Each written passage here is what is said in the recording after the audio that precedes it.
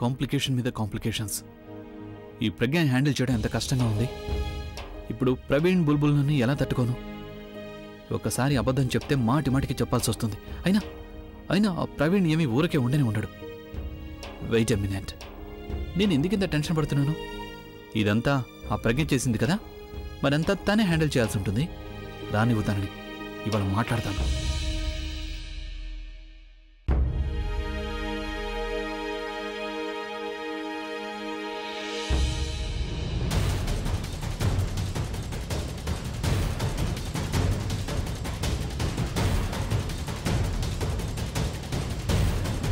ఇదంతా చేసింది నువ్వే కదా?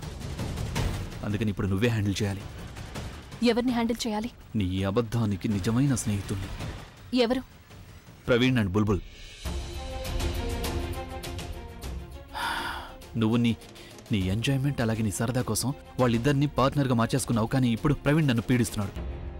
అసలు ఆ రోజు రాత్రి ఏం జరిగిందని? రేపు బుల్బుల్కి నయమైపోయాక తను కూడా నన్ను పీడిస్తుంది. నువ్వేం చెప్తావో నాకు తెలియదు అబద్ధమో నిజమో. కానీ వాళ్ళ స్టూపిడ్ ప్రశ్నలకి నేను జాబ్ ఇవ్వదలుచుకోలేదు. ఈ విషయం మీరు దూరంగా ఉండి కూడా చెప్పొచ్చు. ఎందుకని? నేను దగ్గరగా రావటం వల్ల నీలో ఏమైనా తేడా వస్తుందా?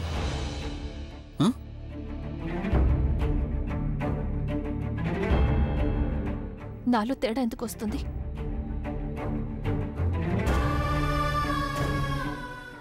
రియలీ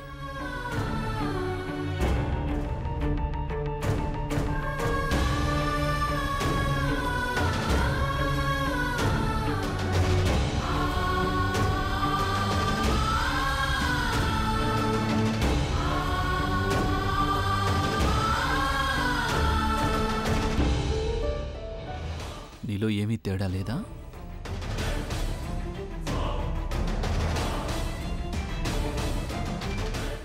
ఇప్పుడు కూడా అనిపించడం లేదా? మరిప్పుడు? నా వైపు చూడు. నా కళ్ళల్లోకి చూడు. ఏమైంది? చూడలేవు కదా? దాని అబద్ధం చెప్తున్నావు నీలో తేడా వస్తుంది.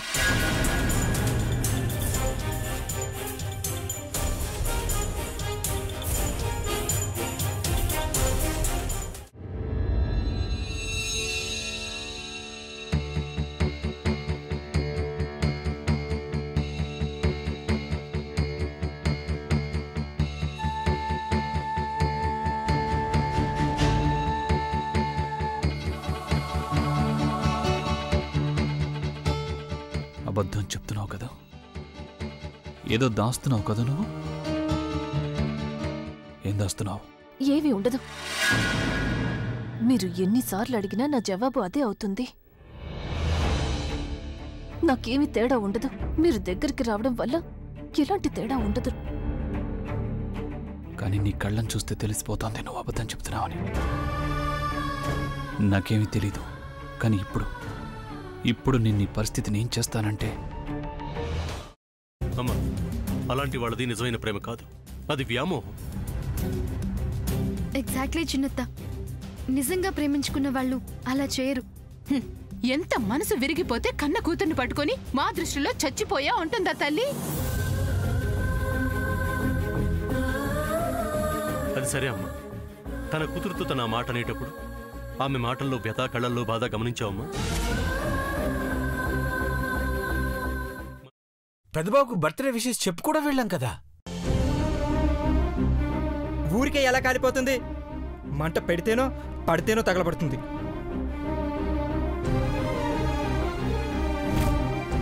కరెక్ట్ చిన్నబాబు నీకొచ్చినట్టే నాకు డౌట్ వచ్చింది. పార్వతే షర్టును తగలబెట్టిందనుకుంటా.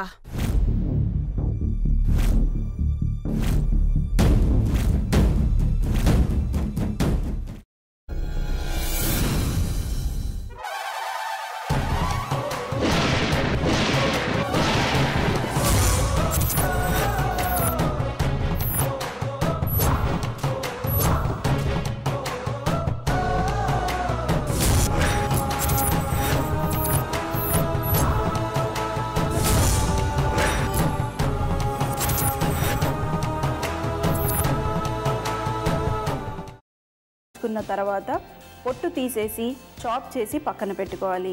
ఒక ప్యాన్లో కొద్దిగా నూనె వేడి చేసి అందులో ఆవాలు మినప్పప్పు శనగపప్పు కరివేపాకు సన్నగా తరిగి పెట్టుకున్న ఉల్లిపాయలు వేసుకుని ఒక్క నిమిషం పాటు వేయించుకోవాలి. ఆ తర్వాత కాల్చి కట్ చేసి పెట్టుకున్న వంకాయని కూడా అందులో వేసుకుని బాగా మిక్స్ చేసి బౌల్లోకి ట్రాన్స్ఫర్ చేసుకుని అందులో తగినంత చిక్కటి పెరుగు లేదా పల్చటి పెరుగు వేసుకుని మిక్స్ చేసి అన్నంతో కానివ్వండి చపాతీతో కానివ్వండి సర్వ్ చేసినా చాలా బాగుంటుంది.